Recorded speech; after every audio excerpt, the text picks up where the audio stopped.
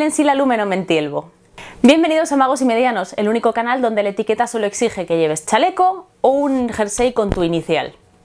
Hoy vamos a hablar de una de las cosas más importantes y de las que menos se ha hablado de la obra de Tolkien, la cerveza.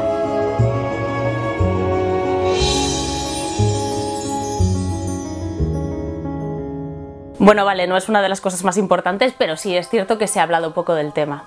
Muchos de vosotros seguramente relacionaréis la cerveza automáticamente con los enanos. La culpa es de esta escena. Rugientes hogueras, cerveza de Malta, rica carne deshuesada.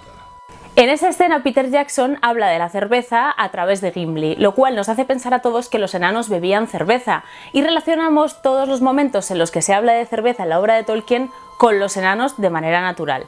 Bueno, es lógico, seguramente los enanos también beberían cerveza, seguramente todo el mundo bebía cerveza, cerveza o vino, que es lo que se estila en esas épocas de fantasía medieval. No obstante, en la obra de Tolkien, lo que es puramente en los libros, ningún enano menciona la cerveza en ningún momento.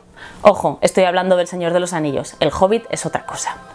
Si nos centramos en el Señor de los Anillos, la cerveza se menciona 20 veces en la Comunidad del Anillo, una sola vez en las dos torres y dos, y dos veces más, sí, dos veces más en el retorno del rey. Todas esas veces la cerveza está relacionada directamente con los hobbits. Siempre interviene un hobbit o bien sucede dentro de la comarca. Más y los problemas se apartarán de ti. De hecho, si veis El Señor de los Anillos, si volvéis a releeros el libro, os daréis cuenta de que en el momento en el que terminan eh, su capítulo de Brie, la cerveza desaparece para siempre.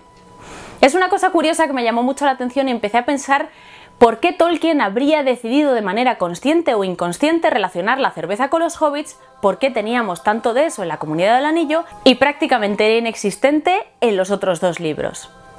La razón de todo esto podemos saberla gracias a las cartas.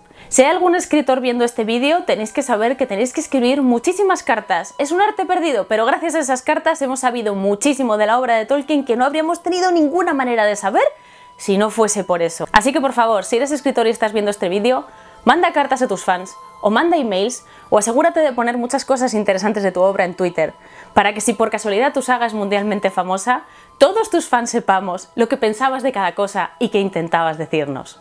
Vale, las cartas. En las cartas se menciona la cerveza varias veces, pero hay dos que son mis preferidas y que creo que son las más relevantes para esto que voy a tratar en este vídeo. Una de las cartas es la de Rainer Unwin, de sus, uno de sus editores, en 1953. Y además de estar relacionada con la cerveza, curiosamente también está relacionada con el libro del Señor de los Anillos.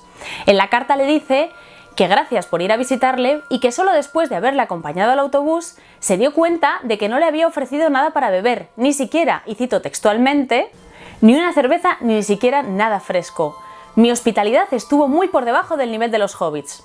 Eso es literalmente lo que dice Tolkien en su carta, y a continuación le dice que por fin ha pensado cómo deberían titularse los tres volúmenes, La Comunidad del Anillo, Las Dos Torres y El Retorno del Rey. Es curioso, ¿verdad? La cerveza aparece y también aparece en sus novelas. El caso es que para él, esa hospitalidad relacionada con los hobbits también está de alguna manera relacionada con la cerveza. Le parece que que una persona venga a su casa y no ofrecerle nada fresco para tomar, ni siquiera una cerveza, es algo absolutamente imperdonable. Algo que incluso Bilbo le ofrece a los enanos en el Hobbit a pesar de que él no los estaba esperando. La segunda carta es a su hijo Christopher Tolkien cuando éste está en medio de la Segunda Guerra Mundial y está relacionada con la celebración y con la victoria.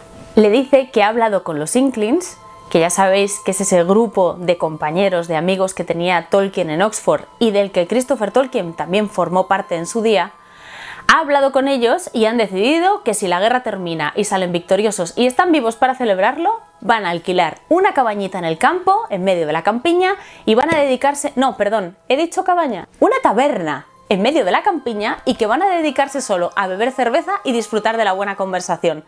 O sea, ¿hay algo más hobbit que eso? Nada. Con lo cual, llegamos a ciertas conclusiones. Para Tolkien, la cerveza está relacionada con los hobbits porque también está relacionada con la hospitalidad, con la buena compañía, con la vida tranquila, con cierta felicidad. Y por eso aparece muchas veces en el primer libro, en el primer tomo, justo cuando estamos en la comarca, donde todo es tranquilo, todo es pacífico y la vida pasa despacito y va desapareciendo a medida que nos adentramos en la guerra, en la incertidumbre, en la incomodidad. De hecho, en el tercer libro, El retorno del rey, cuando aparece la cerveza, es porque Pippin se la pide a Beregón justo antes de la batalla, que Beregón le dice, pues es normal que cuando vas a presentar batalla eh, quieras primero coger fuerzas, comer y beber algo, y también es una forma de celebrar la victoria. Bueno, para Tolkien la cerveza era todo eso, y por eso lo plasma así en sus novelas. Es cierto que esto nos chafa un poco el tema de los enanos, pero os voy a dar una pequeña compensación. Si nos vamos al Hobbit, cosa que no tiene nada que ver con el Señor de los Anillos, pero si nos vamos al Hobbit, eh, los enanos piden cerveza bastantes veces cuando están en casa de Bilbo, así que por ahí lo podéis coger. Pero para Tolkien, la cerveza significaba muchas otras cosas que relaciona con cosas que le gustaban a él mismo y que él valoraba. Porque no os olvidéis de que, aunque Tolkien creó un mundo riquísimo lleno de razas maravillosas, él siempre se sintió un hobbit. Si te ha gustado este vídeo, no te olvides de suscribirte y activar la campanita para no perderte ninguno de nuestros viajes hasta la Tierra Media. Gimlenaz Rubel, Nimri Minalce, Batancada Adunada.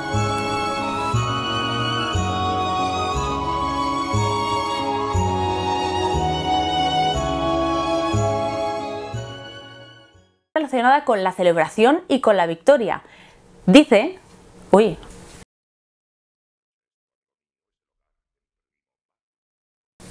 ¿ya? ¿Puedo seguir? Sí.